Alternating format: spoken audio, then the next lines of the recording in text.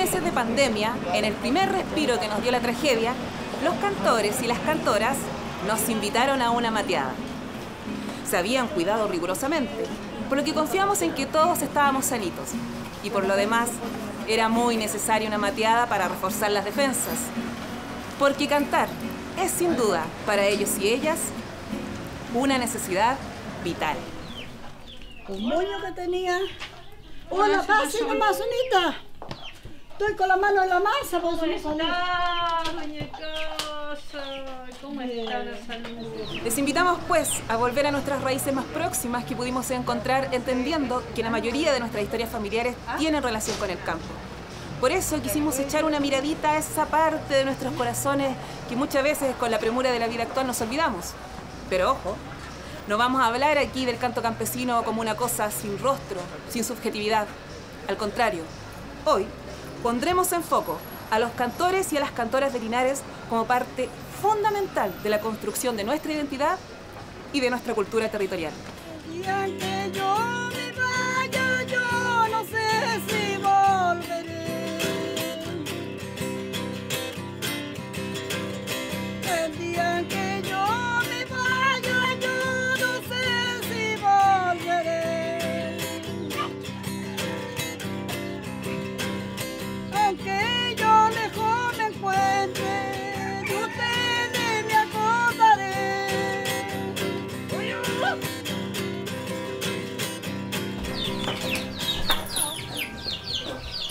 Soy Doralisa Gómez, eh, vivo acá en San Antonio Encina y, y esta es mi casita, mi hogar. ¿Cómo empezó a cantar? ¿Cómo supo que existía esto? ¿Cómo aprendió? Mire, eh, fue allá en Barzancó, en marzo.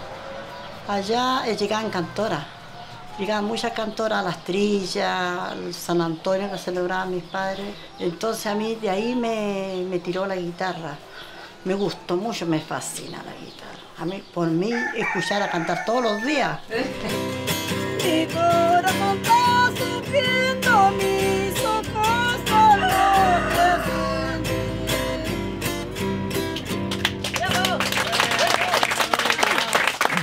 No aprendimos sola, nosotros, mirando nosotros.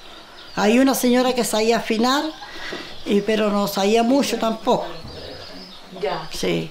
Y ¿Y entonces, usted cómo aprendió a afinar? ¿Hacía a puro oído? a puro oído, yo le ponía atención cuando afinaba la guitarra a la señora. Yo me ganaba tacitos de ella y decía, me gusta tanto la guitarra, decía yo, ¿cuándo voy a cantar yo? He venido a saludar un canto de la mañana. Y ahí ya seguimos aprendiendo y ya cantamos los tres. Mi hermana y mi hermano, pero lamentablemente él ya partió y no está con nosotros. Entonces mi hermana por problemas del matrimonio ella no pudo seguir cantando. Así que yo sigo nomás. En canto de la mañana y en canto al amanecer. ¿Qué ha cambiado? Antes, como usted veía antes y ahora. No, pues ahora ya no, como les dijera yo, ahora eh, hay harto cantor, pero cantan de- en otra manera, eh, final la guitarra, eh, ellos cantan por música, pues. y antes se cantaba por transporte, segunda que decir que ahora le llaman la españolita, tercera alta, esas eran las afinaciones que se cantaban para ellos. Ahora no pues ahora son- es todo moderno, ¿Y qué habrá pasado? ¿Por qué habrá pasado eso? ¿Por qué se habrá perdido es que se han terminado tanto las cantoras. Sí, pues yo también fino por música y hay canciones que salen por esa nota también. Salen muchas tonadas, cuecas, corridos por eh, música. Pero por, por las notas convencionales, Claro, por claro, toda esa. claro. De lo demás usted lo saca por oído. No, lo saco por oído nomás. Sí. Supongamos que usted sea una cantora y, y afina la guitarra a su gusto, si es por música o por eh, españolita que le llaman. Ya por eso le sale la, la canción que va a cantar. Tiene que ir igualando la- las cuerdas que vayan diciendo lo que uno va cantando.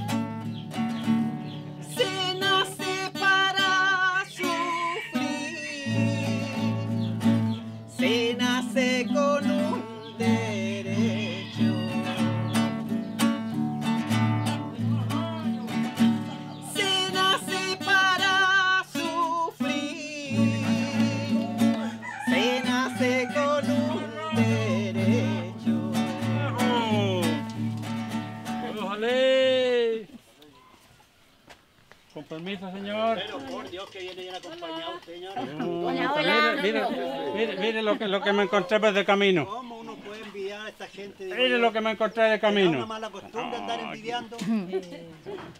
¿Por dónde está la cosa aquí con permiso? Usted no tiene teléfono. pues si me Usted la otra vez lo llamé y le dije yo, "Ah, este, anote este número. El, Sí, pero se fijo". fue la otra vez, pues si estamos hablando de ahora Ah, nomás, pues. pero para que lo anote, para que lo lo tuviera anotado. Mire la otra, eh, claro, Ahí asentito, tío, no, no, Sí. por todos lados ahí. Sí. ¿Cómo lo han tratado un Pedro? Oiga, ¿cómo cree usted?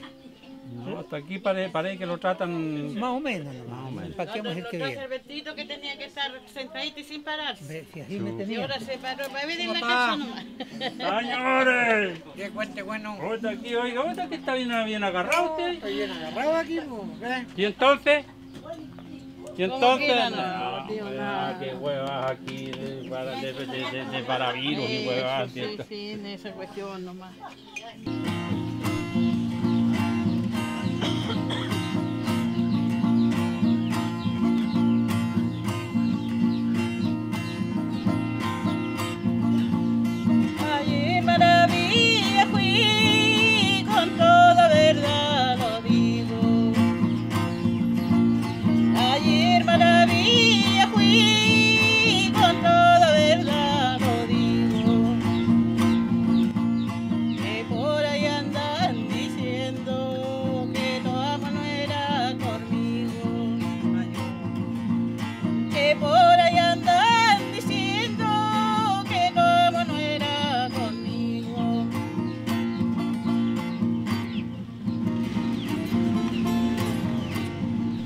Este primer encuentro que tenemos, que ojalá no nos pase nada, nos sigamos cuidando y, y que el virus por lo menos haya a la punta del cerro para allá. Así que un tremendo agrado juntarse con toda la gallá de por acá de estos lares. La hermana de mi mami era cantora. En aquellos años tendría por allá de que por los 10, 12 años más o menos. Y mi mami lo invitaba porque ella vivía, allá en Santiago, una hermana de mi mamá. Y, y venían desde Santiago, venían para el campo. Vivíamos aquí en- al otro lado del río Ancoa, en un sector se llama Funda, se llama Los Robles, ahí mi mami y mi papi hacía, hacía comida. Y mi tía, la hermana de mi papi, también era cantora. El, que, el que aprendió a tocar primero, porque mi tía, la hermana de mi papi, le enseñó a mi hermano el mayor, que él, quedó por allá por el exilio en estos minutos. Y ella le enseñó a, mi hermano. Y me llamaba mucho la atención, uno le aprendían las tonadas que ellos cantaban y cantaban de una guitarra traspuesta.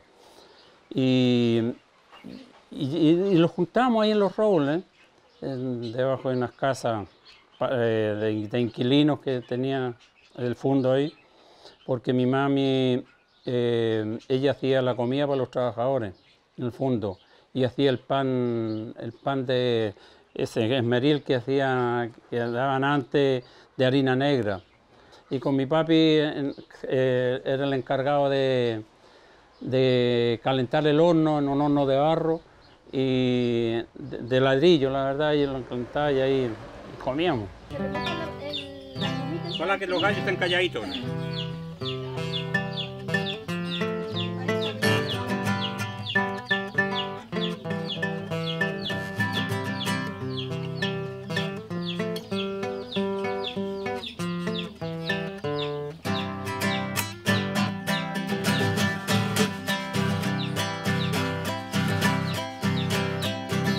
Soy el ave que padezco en la jaula prisionera. Soy el ave que padezco en la jaula prisionera. Sin poder gozar las flores que me dio la primavera. Ahora sí, así es mi vida. Ahora sí, así que cuando. Sí, así es mi vida. Ahora sí, así que cuando. Ahora muero penado. y morena el alma mía. La infancia de uno era, eh, fue pobre, pero pobre en, lo material. Pero en- en- en el afecto humano, la verdad que era muy... muy eh, yo tenía por allá por los 25 años más o menos. Siempre me, quedé con una guitarra y, y de por ahí empezaron las primeras eh, encuentros con la guitarra, o sea, entenderme con la guitarra. Pero sí tenía en la mente el la, forma de- del, del cantar de la cantora. Me gustaban mucho lo- lo- los trinados pero ya cuando ya entendí lo que era el canto y me fui metiendo más en el canto cuando constituimos la, la agrupación de cultores del canto campesino y de ahí ya empecé a conocer la historia de, muchos, de mucha gente ya. La casa de la Dorita acá, lo único que hay que hacer es callar los gallos nomás porque puta que son bolineros los diablos, oigan. ¿No es? Y no, no le de nada porque más ratito vamos a tener un, un- vamos a rifar uno. Lo vamos a rifar uno porque el puta madre va a zapatear para otro lado. No saben para dónde se va el diablo. Den cinco, oye. En cinco, dieron cinco. ¿Pero cuánto dais tú? Pero cinco sí. No cinco. Pero si el hombre pagaba 1100, ¿cómo hago? El hombre le pagaba 1100. Oiga, cinco. Cinco, se lo compro cinco, decirá.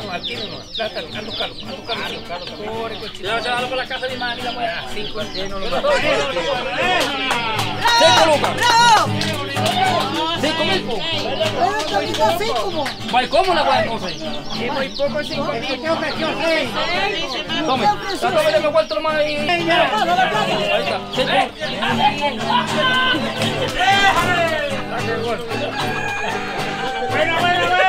A mi abuelita la venían a ver, señor, y eran cantoras. Ahí yo a ella le, le pasaba la guitarra para que le cantara. Y ahí estaba yo. Y todo me gustaba. Cuando tocaban cueca, yo, para la cueca de chica era re buena para la cueca. Y a mí no me pusieron nunca al colegio. Porque no tenía con quién ir. Y ahí en ese fondo había un colegio que ahí en Antoles, de por allá del- de la montaña, venían al colegio. Y yo, como era la única chica, no me, nunca me echaron porque no tenía con quién venir. Pero el profesor me mandaba tarea, el señor Ruiz que se llama. Las tablas, por ejemplo, me las mandaba. Y yo ahí seguía aprendiendo y un tío que tenía me enseñaba también. Y yo aprendí a escribir, ¿sabe que se van a reír? Tenía una tía que le llegaban cartas. Y ahí aprendí a escribirla y a leer. No que antes era así, era por carta, no es como ahora. Tanto que yo lo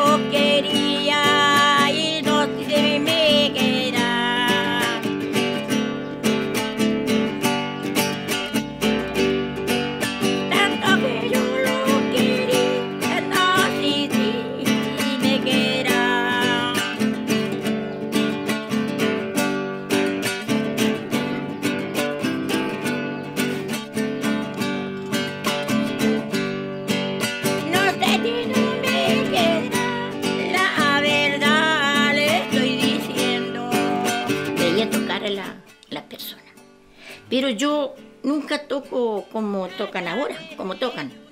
Yo toco de arriba, así para la guitarra, así. Porque las demás yo me fijo siempre tocan así. Entonces yo, así, así, me, porque un tío que tenía yo era perusonazo. Me decía, mira, él toca la guitarra así, yo vino así que de arriba abajo, así, para abajo. y me ahí empecé a enseñar, así me aprendí yo.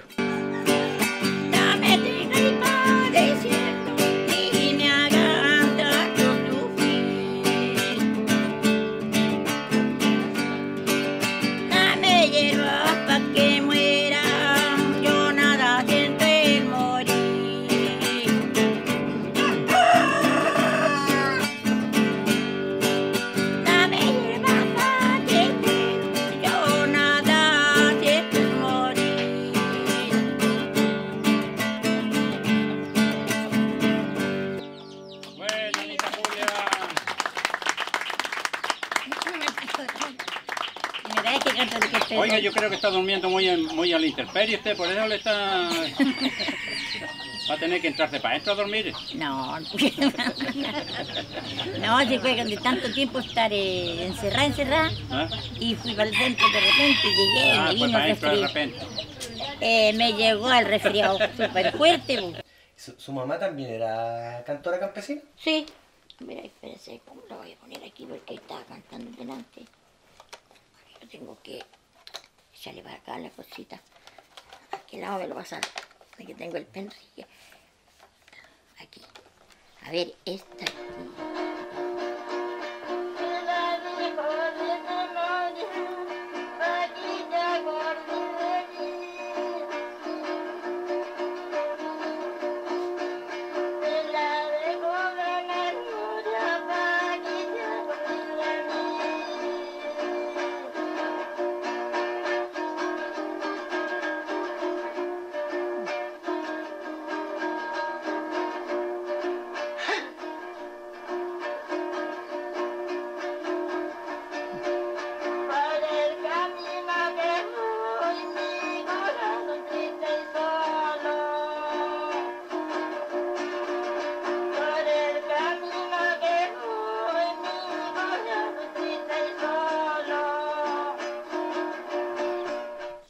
Cuando llegaba una, si, si no hay, no había cantora, la, no hay una fiesta, se ponían los mismos, ellos mismos a, a cantar en, en tabla y así, porque todos sabían el ritmo del canto campesino. Y no había guitarra, y entonces empezaban ellos mismos con unas tablas y a sonar las manos, hasta bailaban.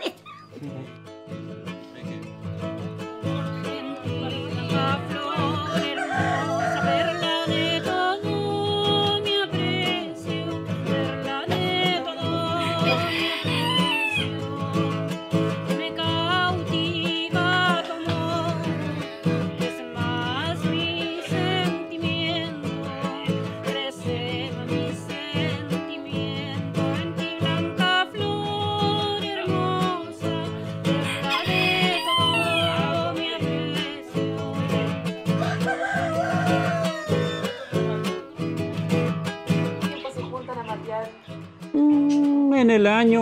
Pandemia, pandemia. Claro, en el año por lo menos eh, las temporadas 8, 10 veces en el año. Y vamos a los diferentes lugares donde compartimos. ¿Cuál es la música de compartir. De compartir, de intercambio de experiencia, de vivencia, de- de cada uno una historia. Y, y, en todas en todas los encuentros siempre como que son, eh, son las mismas historias. Siempre la dificultad, siempre un- una vida, una, se ha tenido una vida mm, difícil, eh, de penuria por la por las circunstancias, por el sistema que de los mismos atropellos. Cada uno tiene, tiene un- una experiencia similar que, que contar. a las montañas inmensas. Tengo de irme a remontar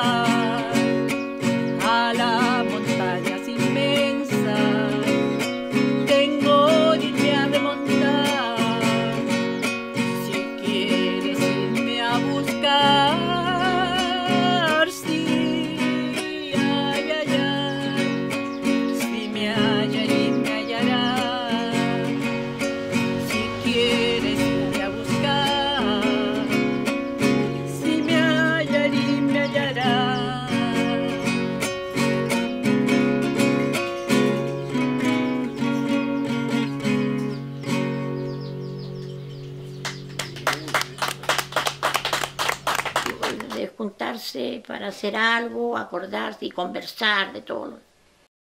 Pero no sé cuándo, a ver, yo cuando fui de la señora Georgina, cuando estuvimos allá en la Casa de la Cultura, ese, esos dos hemos salido.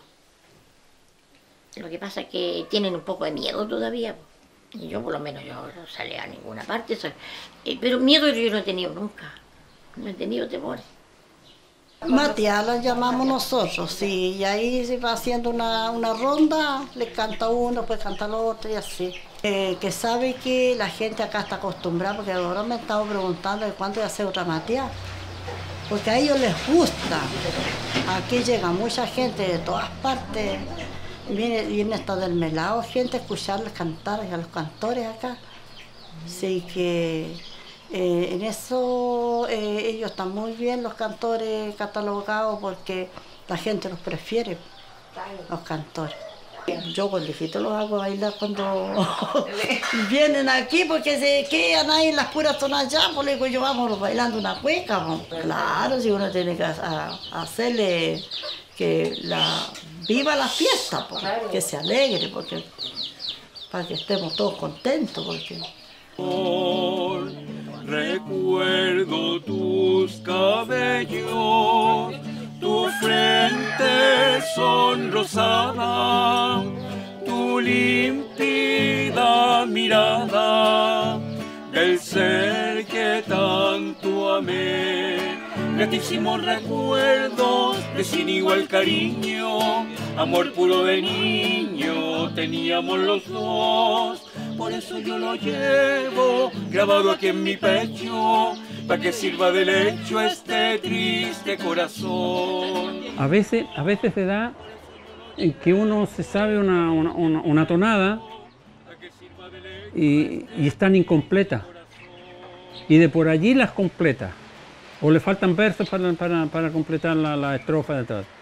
Y de por allí, pero es que a, esa tonada le falta esto. Y se van enriqueciendo. Siempre se enriquece el- los encuentros en, en- en los reper- en los repertorios de cada uno. No, hoy se sigue. No, ese día se fijó usted. Y yo, otra gente que no supo, le supieron después, estaban medio sentidos conmigo. Le dije yo, es que yo me la saqué con el teléfono. No tengo teléfono. Una mentirita piadosa. Le dije yo que no nos podemos juntar. No, pero es que haga una luego. Me dice, ¿cómo?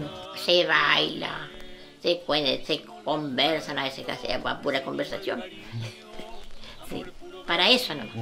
Y planes planifican, si podíamos hacer esto, podríamos hacer esto otro. Incluso que yo le dije al tío Nano ahora para la Matías que por qué no nos comíamos un asado ante la Navidad, pues.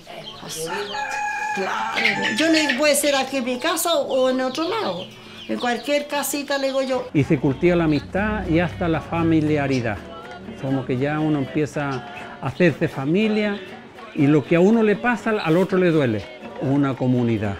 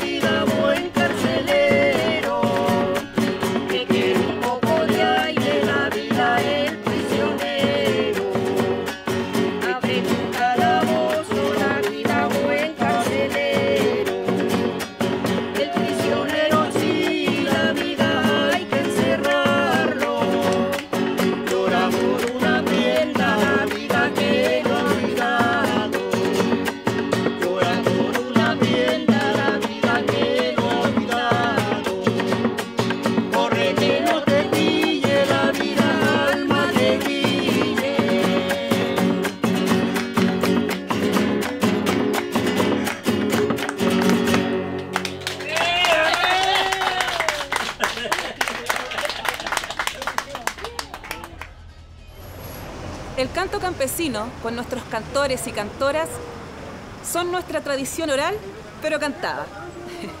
Una especie de juglares que nos cuentan de la resistencia en el campo, de ese lugar de donde todo sale, las materias primas, los alimentos, nuestra conexión con nuestra esencia de alguna manera, ¿no? Los rituales ya no son los mismos de antes y el canto campesino empezó a quedar en nuestros recuerdos más remotos, en las historias de los viejos. Ya no se le canta al angelito y las trillas ya no son a yegua. Y en definitiva, los cantores y cantoras se empezaron a convertir en una especie de tradición campesina casi ornamental. El canto campesino y nuestros cantores y cantoras trascienden a la moda, a las academias o a los egos mezquinos. Trascienden al tiempo y a sus embates. Es como la tierra, está ahí, para recordarnos que nunca, nunca empezamos de cero. Nos vemos en la próxima.